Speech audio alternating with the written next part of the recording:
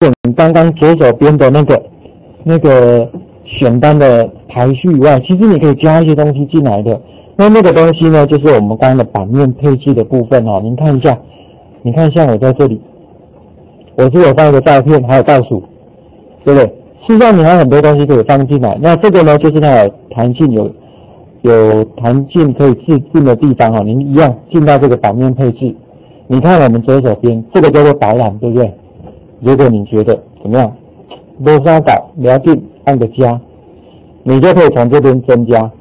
比如说像 Google 它一直在推这个加一嘛，到处都有看到加一，但是很多人就不喜欢加一啊，哈哈哈所以它这个部分不太容易拼过 FB 了哈。但是不管它了，你看我们再往下找，我们刚刚那个叫浏览，好，刚刚那个叫浏览。那么你也可以单纯加入文字，比如说哎，你想要针对这个 board 做一个说明，可是我不想要放到最上面这里，那么你可以加上一个单纯的文字，哎，我按一个新增。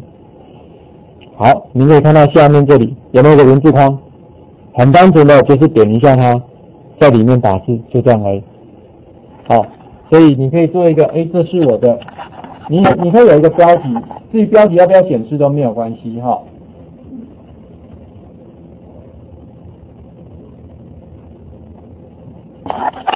好，这是比较单纯的。那好了之后呢，在下面这里确定。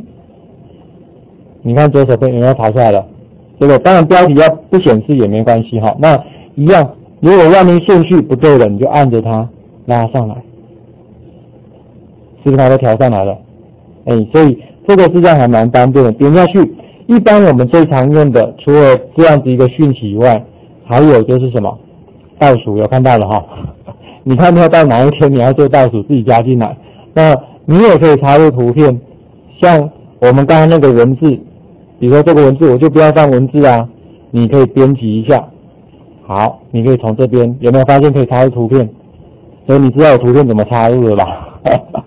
啊，对啊，其实你可以找自己喜欢的啊，对不对？我没有办法，我们只好用自己的照片嘛。啊，你可以自己找到你喜欢的，你可以用连接的方式把它叫进来哈。你也可以直接哎，我不用放进来，我就直接贴上来就好了。呃，图片网址。按右键复制影像网址贴上，好，这样就有了。所以这个部分，这样这边就变了，这样没问题吧？好，所以这个是给各位看到了之后呢，我们现在再看一下哦。你看我们刚刚除了调整这个架构外，我们的内容，也许你刚刚是有编过好多次的。但是有些时候，我不知道各位有没有这个经验，编辑文件的时候，难免怎么样，不小心哎改错了，然后呢手又不听话，又把按存档又关闭，会不会这样子？有可能对不对？那这个时候怎么办？你说用新版本的，它有一个历程可以救回来。好，那 Office 啊，那我们在网页上也有啊，你可以找到这边来，你看一下，我们在这里。更多里面，我们刚刚是有一个管理写作平台，对不对？好，我们现在就是要这个善用所谓的页面的编辑历史记录。你编辑的过程，它都把它记录下来，随时可以复原。你也可以随时回到过去。好，这个就是用云端最大的好处啦。好，最大好处。所以呢，你可以从这边过来哈，找到它页面。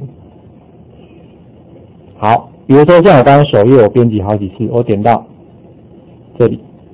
点进来哈，你点到找到那个页面之后，有没有一个叫修订记录？好，如果你已经确定知道那页在哪，其实直接进到那一页就好了哈，就不用进到页面。好，你看，按一下。好哇，我现在已经有几个版本，有没有？已经有三个版本，所以你可以随时回去看一下。万一你确定这个版本是你要的，你就告诉他我要回到历史上的今天。就回去了，就这么简单哈。那可是你总是想要看一下到底以前是哪一个版本呢？对不对？所以你可以按一下，他就可以先给你看一下哦，这个是几天前的版本有没有？哪一个版本你要不要马上还原？甚至我会比较一下两个版本有哪里不一样。好，这个是有删除的，我事实上是新增了，我希望有新增东西进来，这样你了解了吧？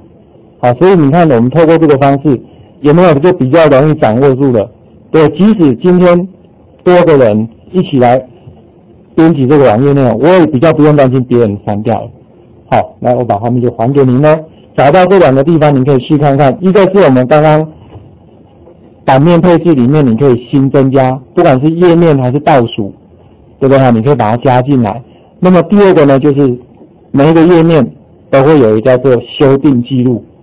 好，修订记录的地方，你可以看到说你刚刚编辑的历程，万一要回去的时候，就把它还原回去就好了。